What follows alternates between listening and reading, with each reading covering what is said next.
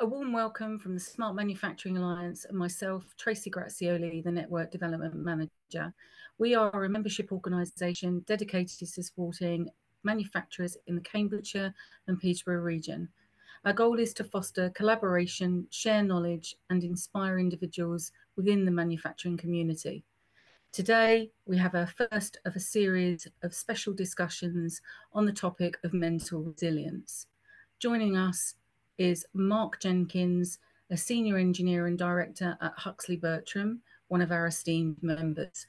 Mark will be in discussion, conversation with Patrick Melville, an accredited mental health England first aider and public speaker. Over to you, Patrick, to lead the discussion on this very important subject.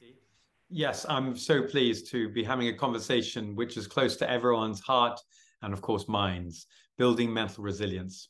Thank you, Mark, for joining us. Hello, Patrick. Hello, Tracy. Thank you for the invitation. Pleasure. So let's go straight to it. I would like to start with my first question and hear your thoughts. What have been the main drivers and causes of stress in the industry this year?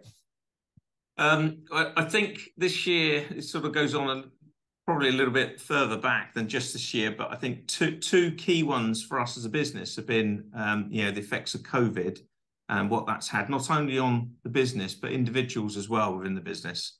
Um, we've also had some delays to goods, uh, electronic parts in particular with engineering have been, been a problem to, to source. You know, so getting hold of goods that might have taken weeks have taken over a year to year and a half. And those sort of things put pressures on the workloads, put pressures on project schedules and the deliveries that people you know, signing up to do as part of their job. Um, and that that causes a problem not only because people are stressing about trying to get their work completed within the schedules, but also um, if the goods aren't there, we haven't got the workload to actually work, which could actually have a and does have an impact on potential overtime. So whereas certain individuals might sort of relish the the idea or or I hesitate to say need overtime, but they get used to working overtime.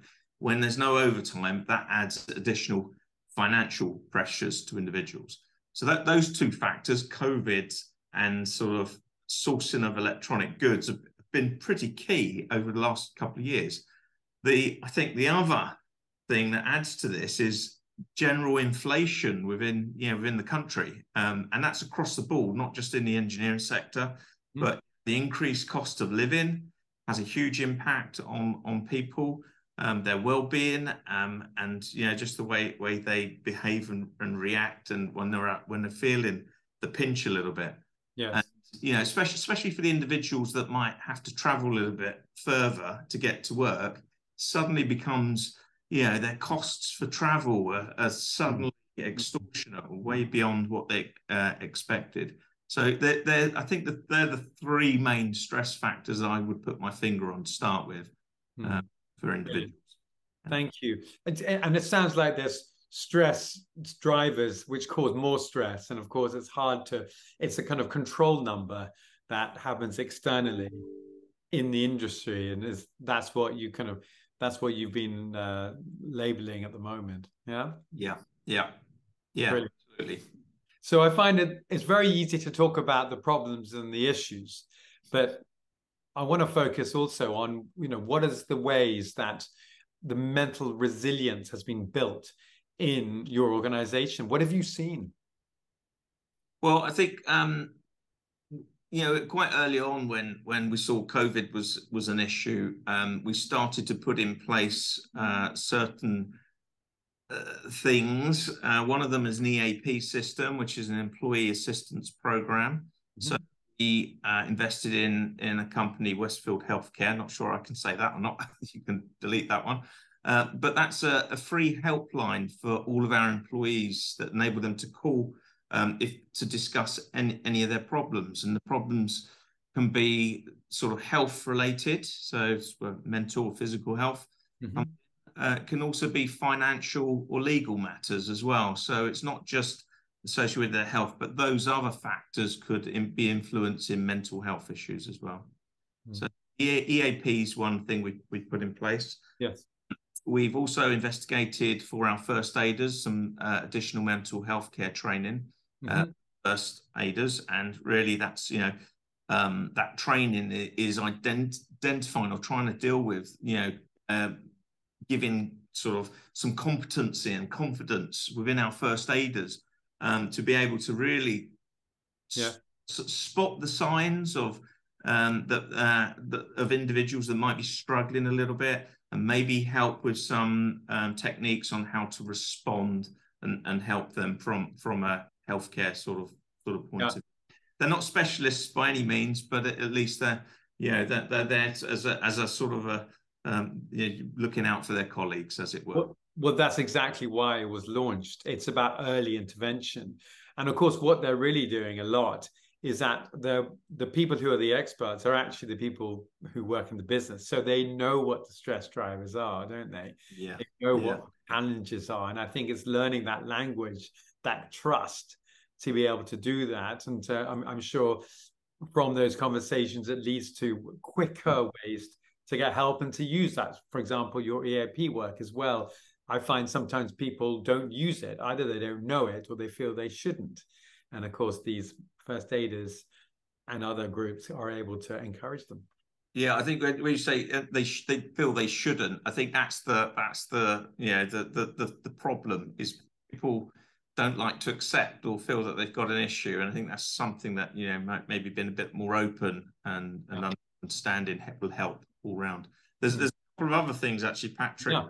comes to what Please. we've done, and and you know we we um have set aside a, a small budget um, to to actually assist financially um, the encouragement of staff social activities.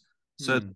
We have have um, you know various people within the company will get together at various times um, to deal with some sort of social group activities like tenpin bowling, um, some games nights where we would would you know give some funding towards, and even uh, not sure if you're aware about the Cambridge Dragon Boat competition that was mm-hmm. yeah very famous. so we we put a team into that, and the company supported that, and yeah, so so trying to encourage some sort of team building and and and sort of you know camaraderie within groups within the business. Yeah, and it sounds like it's bespoke.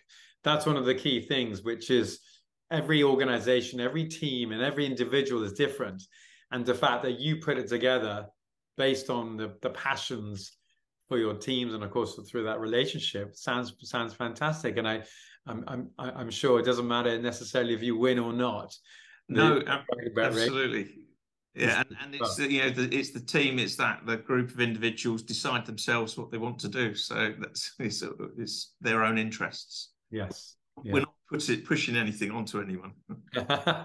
and it sounds like you're doing a, a, good balance between what what I call being reactive to anyone who's got troubles, like a mental health first aider, to having uh, being proactive. You're helping people yeah. Through sharing, and I'm sure there are some amazing conversations that happen. There's a classic thing, you know, with going outside the meeting room. Sometimes the most important meeting um, and the important conversations are around the the coffee cooler. Yeah. Maybe, maybe going to the to Cambridge to do that race as well as other times. Can, can I ask another question about? You know, it's it's one of the softer sides of mental health and well-being. How to justify it, and I know it's a cost. It's a mm. cost in time. It's a cost in budget as well. Is it worth it? And I know this is coming more to the forum with companies, but how do you how do you justify it in any way? I mean, are, are there any ways or softer ways that that come up that you use? Um, well, the, the, for the justification side of things, I think you know that you get straight away you get the uh, staff appreciation that the company is supporting them. So there's there's that. Uh, that then lends itself, I think, a little bit to, and it's really you can't quantify this, but staff retention. Mm. So retaining your staff. You know, we have a um, a culture here, I, I guess, where um, we want people to want to come to work. We try to provide an interesting, um, exciting workplace for people, so so that people enjoy coming to us. We're we're quite fortunate as an engineering company that we're we are truly engineering led.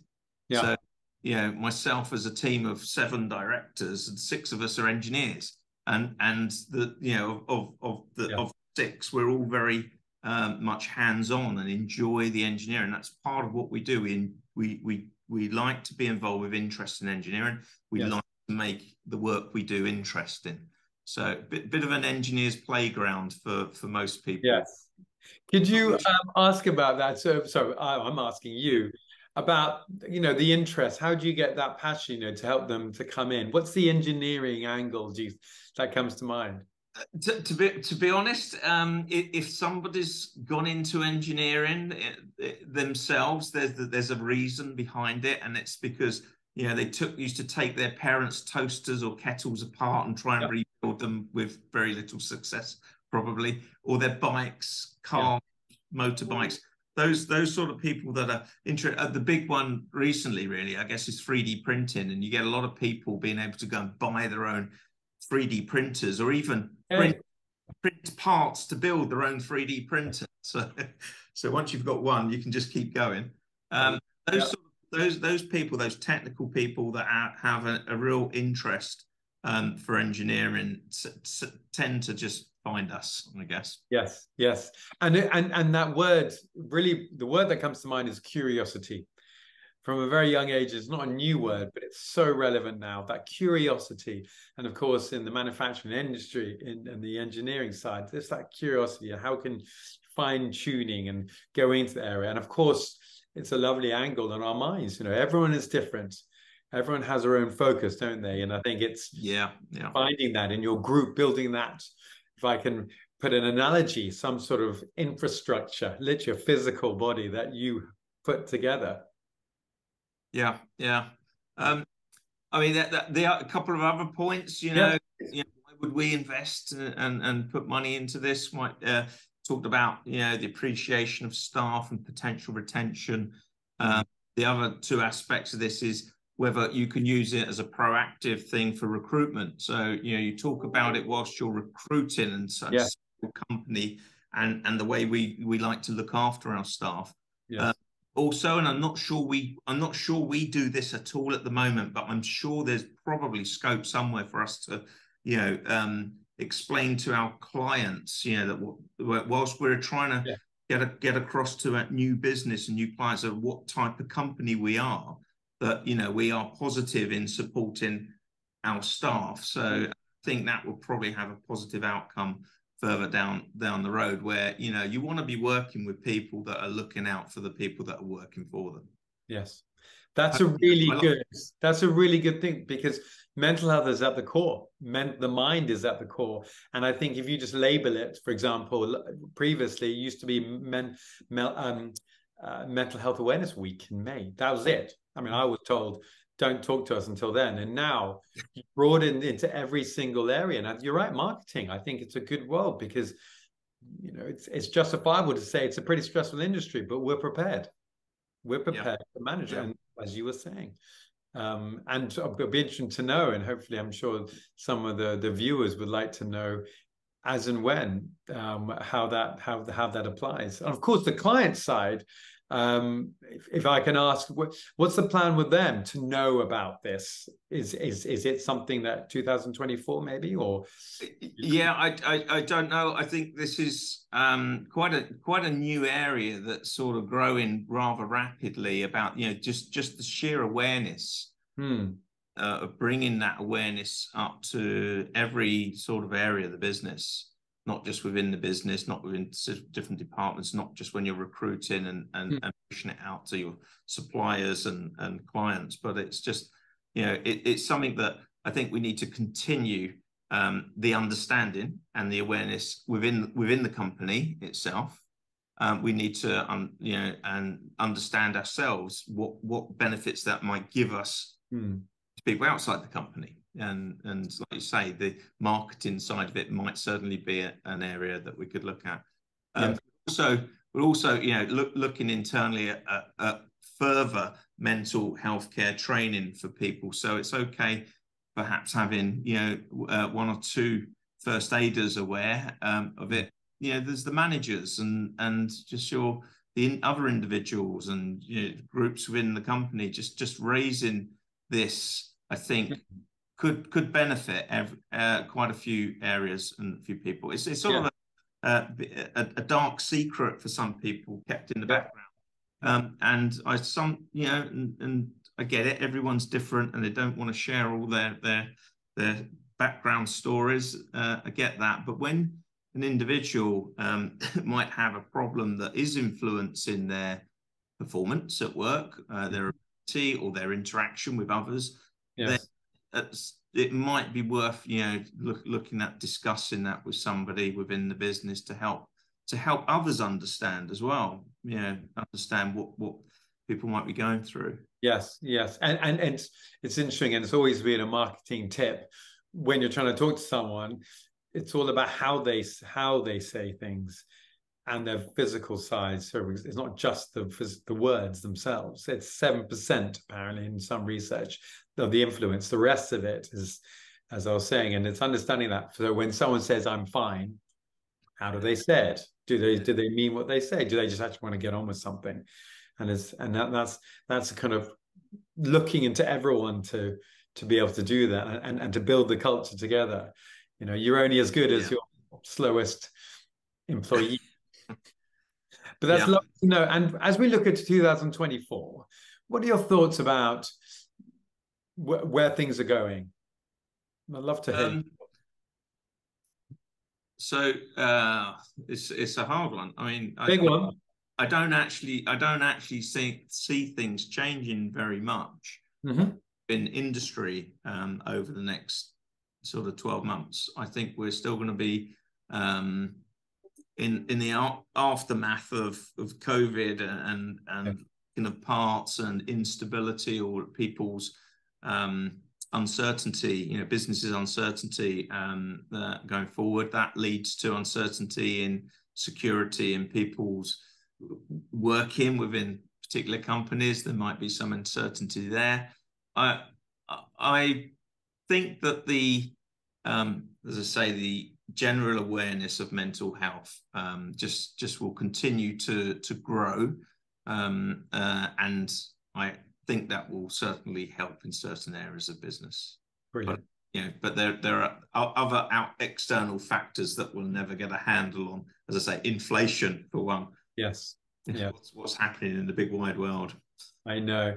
I think the big word is is control and I think that's that sometimes it's it's quite easy to focus on what we can't control. Generally, the organizations in manufacturing I've worked with and others, it's it's it's trying to make a put a lot of time into making a slight difference instead of focusing on stuff they can control, which does have an eventual impact. Um, and of course, 2024, you're right. It's it's a new year, new outcomes as well. But yeah. stuff can be built, can't they? Like as we come to Christmas, just saying thank you is not a hard cost to make and for people to say to each other thank you and to bring into 2024 is yeah. a way. Um, and of course if there was one piece or several pieces of advice you wanted to share with the viewers what would it be sort of in the in, in the industry? Yeah i think there's probably several. Please. Yeah. I think um, you know it's it's it's been a tough few years for everybody. So um, you know, if you're feeling a little bit worn down, then you're probably not alone. You know, there's a lots of people probably, you know, you won't see it or understand it or know it. Uh, but you know, this it's been a tough few years for, for a lot of people, I think. Um, sharing your issues with others could help, you know, especially if you feel that they are, as I said earlier, affecting possibly your performance or social interactions. You know, talk to people, talk to your HR within work, talk to mm um, your first aiders if they've got that sort of sort of mental health awareness, and maybe your manager.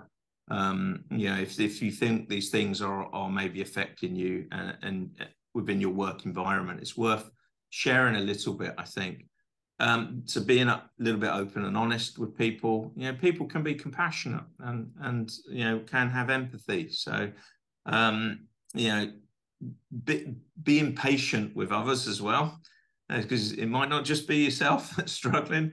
Um, under, being understanding, supportive, and having that empathy, I think, is re- is really key. Yes. Uh, to you know, keeping good working relationships going within within your working environment.